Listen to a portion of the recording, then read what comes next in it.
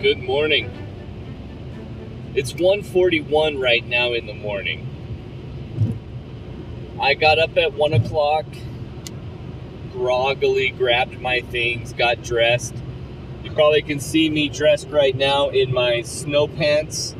I've got some under the snow pants pants, as well as some tights underneath those pants, long wool socks. I have three layers of shirts and sweaters, long sleeve, thermals, just to stay warm. I'm heading out right now, heading south of where I live to find some good dark areas for some astrophotography. I'm gonna try a couple places that I've never been before, and I'm gonna try some places that are actually in light pollution and see what happens. See if I can get some good shots with that and take you guys along for a photog adventure. So good early morning, crack open a hot chocolate packet, pour it in some hot water, and let's let's get going.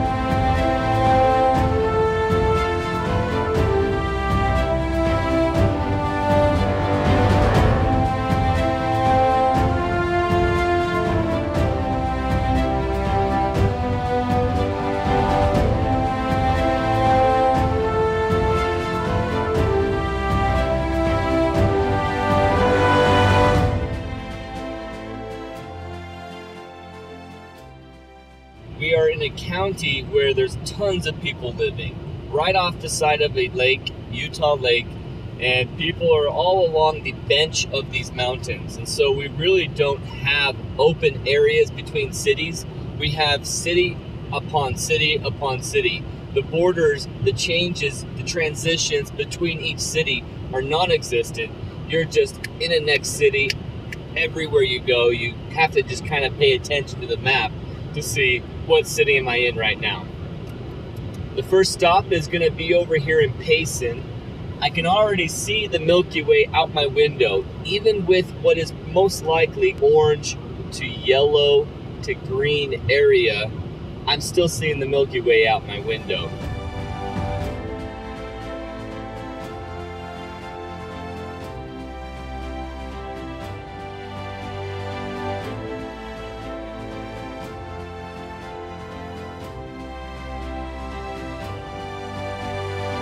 Got out to the middle of the field right here next to the temple and I captured an image just to test it out. See if the Milky Way would actually show as well as the temple. Am I in an area that's too bright? Will the Milky Way be nothing? Will there be no detail at all? So I did a capture real quick to see what it looks like. So check this out. With 15 seconds of exposure, look how much of the Milky Way is showing already. So with that much Milky Way, the potential for this shot is there. So what I'm going to do is go around the temple to the e uh, west side. I'm to go to the west side and see if I can find a location I can shoot from where I can get that Milky Way arching over this temple. Okay, let's go look for it.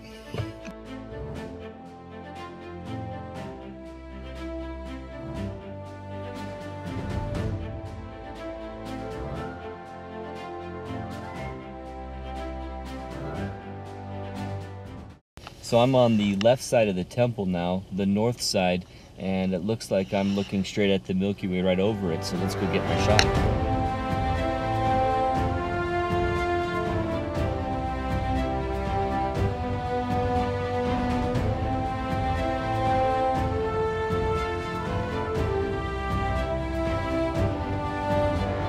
That shot went really well. I'm excited to see what it looks like back on the computer because the LCD screen showed me a nice shot. The issue is, is that I had to shoot through so much light. And so I'm not sure what detail is gonna be there after I work it in Lightroom, but I'm excited about the potential. The foreground object of the temple and the glowing building next to the Milky Way or underneath the Milky Way right there is a pretty cool shot. So I'm excited to take off. It is 2.57, so we've already lost an hour of our time here, and it was definitely worth it. So I'm excited to see where I go next. I'm gonna head further south and head out of the light pollution and capture a really crisp, crisp Milky Way.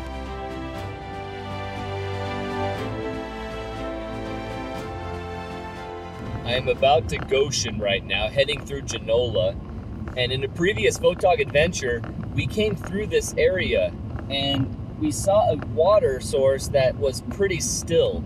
And I haven't yet captured an astrophotography shot with reflection of stars in water below the sky. To double the sky with a reflected water source, that's awesome. I haven't done it before and I'm really excited to see if I can get it in this shot. If I'm remembering correctly, and it's over here on the left and it has a very still water source today, I'm gonna capture there. I just hope that it's not behind a fence that I can't get to.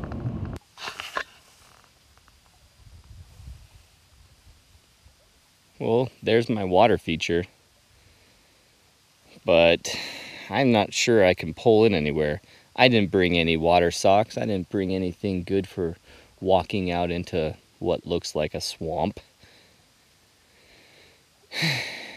So I think what I'll do is I'll capture one image just to see how much it reflects the stars and move along.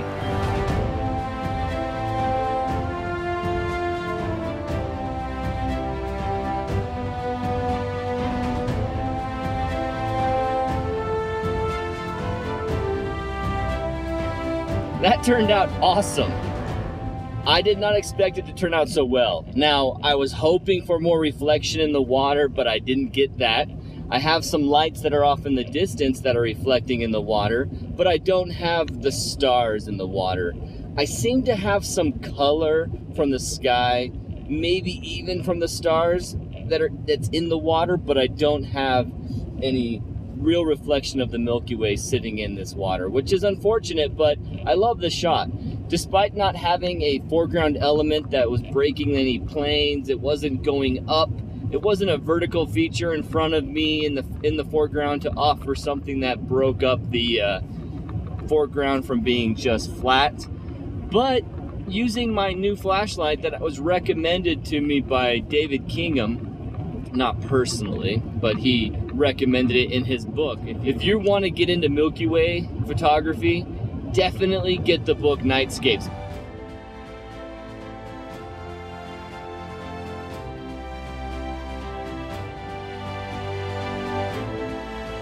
Now where I'm heading, I'm gonna go through Eureka and I'm gonna go around and landscape photography with the sunrise might be awesome there as I can get some really cool contrast between a foreground mountain.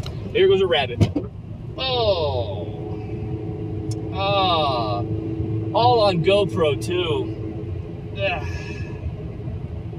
Funny story, back in high school, I took a girl out on a date. We were driving out to, I don't remember where, but it required us to leave the city, go out towards the mountains. We were meeting people out there. I don't know where it was after all. And I hit a cat. And when I hit that cat, the surprise and the horror of accidentally killing a cat, which I didn't want to do, made me kind of yelp. I kind of went, ah! Instead of just, whoa, hey, hit a cat. I went, ah! And she made fun of me the rest of that day.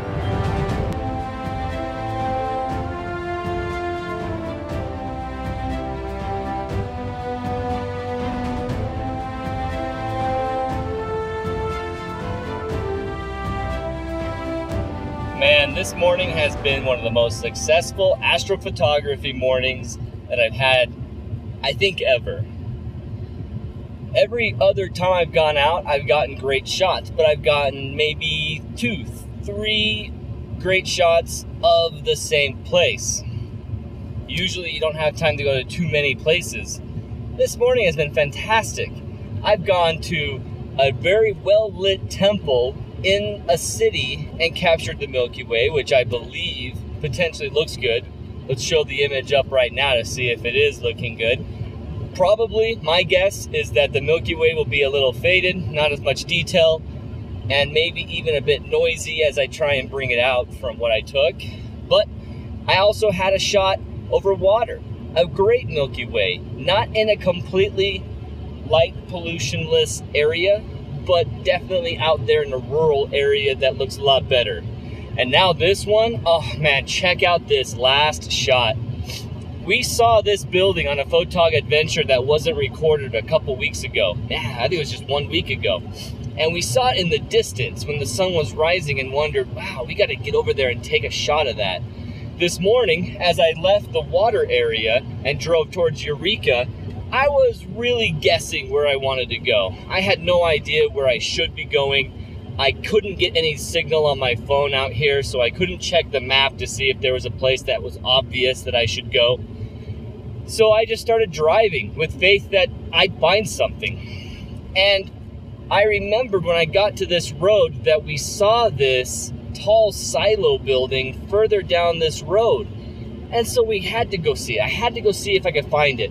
I only had 20 minutes before the sun was starting to start rising over the curve of the earth and starting the astronomical dawn, which means the pitch black sky goes to a lighter shade of black to blue. Oh man, interesting building, old, tall. This is what I'm talking about. I wanted something that would break the plane. The horizon wasn't gonna be just the single line in the image. I was getting a vertical line that was breaking through the horizon and bringing an awesome point of interest right in front of me.